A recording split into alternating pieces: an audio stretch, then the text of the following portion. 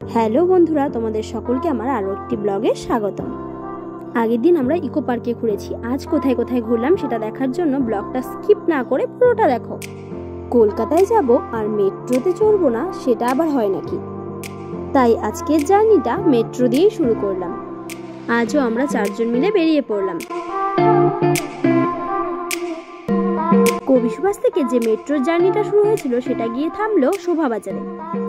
শোভাবাজারে নেমে আমাদের প্রচণ্ড জল পিপাসা পেয়ে গেছিল, তাই আমরা আগেই কোল্ড ড্রিঙ্কস খেয়ে নিলাম।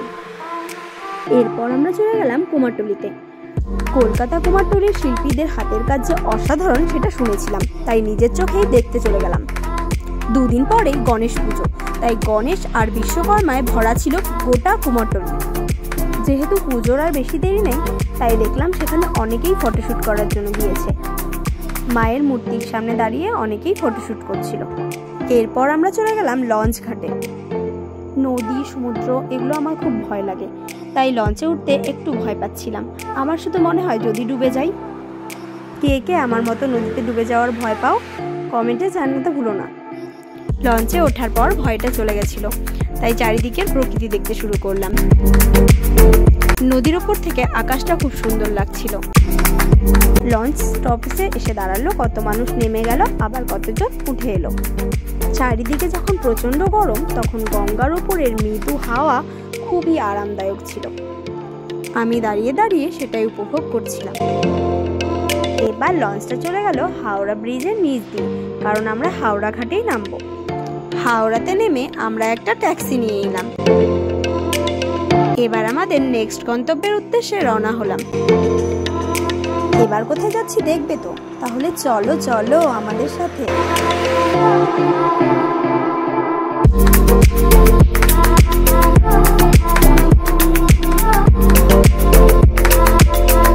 এবার আমরা চলে এসেছি আমাদের আজকের ডেস্টিনেশন, অর্থাৎ ভিক্টোরিয়ায়। আমি লাস্ট এসেছিলাম দু সালে মানে বারো বছর পর আবার এলাম।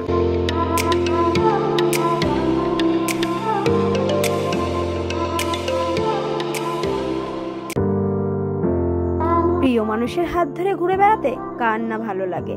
আর যেখানে আমি খুব ভ্রমণ প্রিয়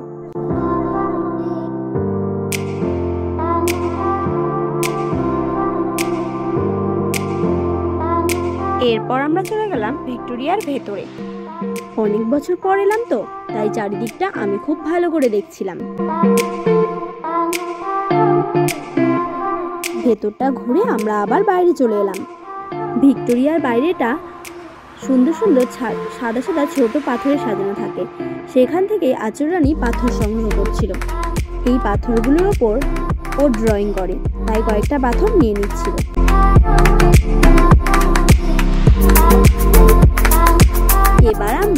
চারিদিকটা ভালো করে ঘুরে বাইরে বেরিয়ে পড়লাম।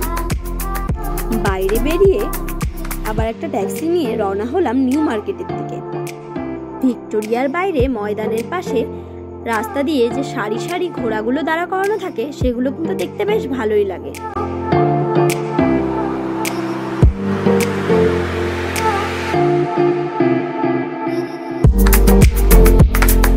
এরপর রাস্তা থেকে আমরা ইডেন গার্ডেনও দেখে নিলাম। সোজা চলে আসলাম নিউ মার্কেটে। যেহেতু আর কয়েকদিন পরেই পুজো, তাই নিউ মার্কেটে খুব বেশি ভিড় ছিল। উপচে পড়া ভিড়। আমরা চলে গেলাম মিয়মরে আর সেখান থেকে কিছু খেয়ে নিলাম। সারাদিন ঘোরাফেরার পর খুব খিদে পেয়ে গেছিল। নিউ মার্কেটে অল্প কিছু কেনাকাটা করার পর বাড়ি ফিরে এলাম। বাড়ি থেকেই আজ আমরা ঠিক করে গেছিলাম যে ডমিনোস থেকে পিৎজা খাব।